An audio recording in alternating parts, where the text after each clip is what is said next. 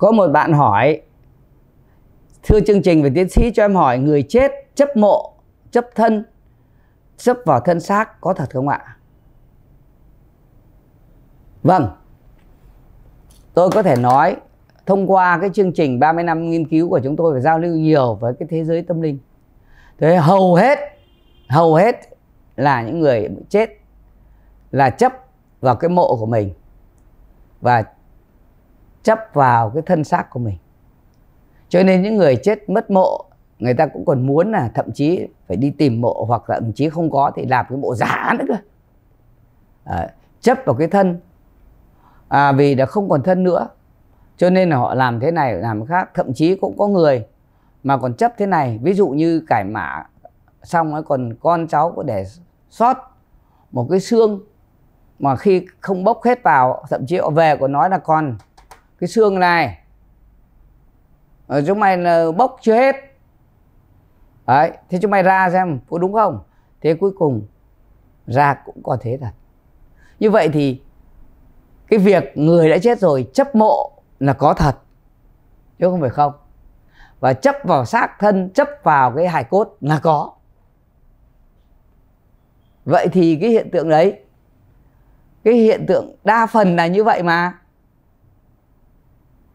cho nên là chúng ta mới sinh ra là cái chuyện là sống về mồ, về mả là như vậy. Làm. Nhưng cái đấy nó cũng có hai mặt của nó. Nhiều người à, kể cả thời vua chúa ngày xưa ấy, họ chết ấy. Họ nghĩ rằng chết là còn chấp vào cái họ ướp xác nhá. Cho nó thật nhiều, chết được ướp được bao nhiêu năm. Rồi là họ táng theo cả mỹ nữ cung tần. Người ta thích ai phải chết theo với họ để họ nghĩ rằng xuống đấy họ còn hưởng nữa cho nên phải chôn theo tài sản rồi vàng bạc ở cái ngôi mộ ngày xưa những mộ vua chúa. Cho nên mới có, có cái tệ nạn là đi đào mộ của những bậc vua chúa để nó lấy tiền của nó là như vậy. Như vậy thì cái người chết ấy, người ta chấp mộ. Cho nên trước khi ông chết ông đã nghĩ xây mộ như thế nào để nguy ngô ra sao vân vân. Rồi là à, khi xác chết thì ướp như thế nào vân vân là người ta chấp. Đó là cái lẽ thường tình và đa phần là như thế đa phần là như vậy. Nhưng chỉ khi những người giác ngộ giác ngộ nó hiểu rằng cái thân mình sống còn chả ai nữa khi chết. Đó, đến khi sống thì cái thân này là có thật, nhưng khi chết, thân này không còn lâu bền nữa. Nó phải hoại, nó tứ đại phải trả về cho vũ trụ không gian. Cho thân này cũng hoại. Cho nên người ta không chấp vào thân nữa, và khi không chấp vào thân thì người ta không chấp mộ nhưng ngày xưa động vào mộ của người ta là người ta buồn. Ấy mộ của ta để ờ, xây cho nên hiện nay các con cái đa phần là khi ông bà tổ tiên chưa ở cái cung giác ngộ thì thường vẫn phải gì? Họ vẫn chấp mộ. Cho nên là con cái về tế lễ xây mộ xây miếc là vẫn có tác dụng chứ. Vẫn được ông bà tổ tiên vui vẻ. Và thậm chí có ở đây có nhiều những trường hợp mà mộ là bị uh, chuột rắn đào bới nọ kia rồi là có khi ở cái chỗ mà mà mà mà mà um, à, cá chê cái chiếc nó chui vào mộ ấy, bắt đầu hơi cây nó đâm vào mộ là con cháu có bệnh tật đấy. Như vậy người ta chấp vào những ngôi mộ ấy, và người ta bắn cái tín hiệu cho người còn sống. Như vậy thì khi cái phần âm do người ta không giác ngộ cho nên người ta chấp vào mộ chấp vào xác thân dù xác thân mất đi còn xương cũng được người ta còn chấp vào cái việc đó nhưng cũng có những cái thành phần những cái phần ấy người ta không chấp nữa. Ở đây chúng tôi đi là tìm mộ đệ sĩ hoặc tìm mộ gia tiên. Cũng có những đệ sĩ người ta rất cần à, người ta chấp vào cái ngôi mộ. À, nhưng cũng có đệ sĩ người ta cũng cũng không không chấp nữa. Ngay là chúng tôi tìm ông liệt sĩ nam cao thì ông ông bảo là cái chân của ông ấy nhầm với mà ông à, đồng đội ở ngôi mộ. Ông là ba trăm ba sáu thì có ngôi mộ trăm mười. Ông bảo cái chân này cũng lẫn vào trong chân của ông đồng đội nhưng mà ông bảo không sao. Coi như là cũng chân thì đồng đội với mình cũng không vấn đề gì. Mà thậm chí khi đưa nhà văn liệt sĩ nam cao về ông bảo vẫn cứ để ở đấy.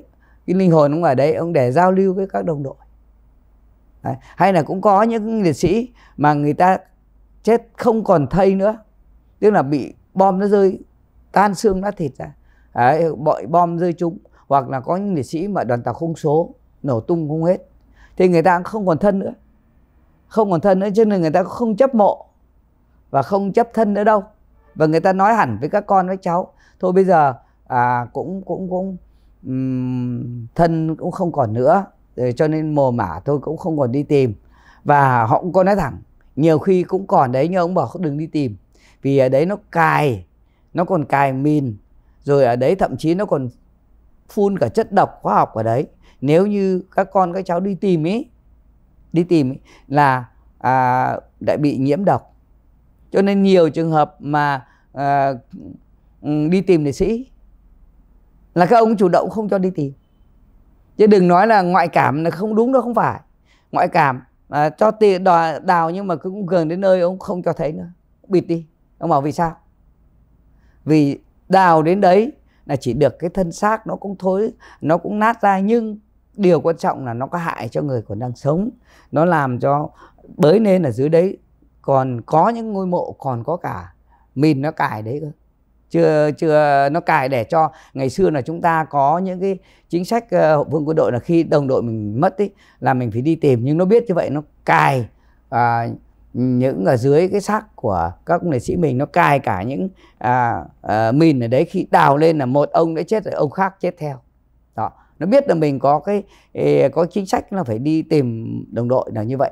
Cho nên ông nghệ sĩ không muốn cho tìm. Hoặc là nó còn phun cái chất độc hóa học ở đấy, rất là độc. Đi tìm cái là bị chết ngay. Cho nên là những trường hợp đấy, những nghệ sĩ người ta cũng không cần xác thân. Vậy thì ông bà tổ tiên hay là các vị cũng là siêu thoát thì họ không coi trọng cái mồ mả nữa đâu, không cần xác thân. Cho nên mọi người đây đừng nhầm tưởng rằng xây mộ rất là to rất là vĩ đại để người âm người ta thích cũng không phải.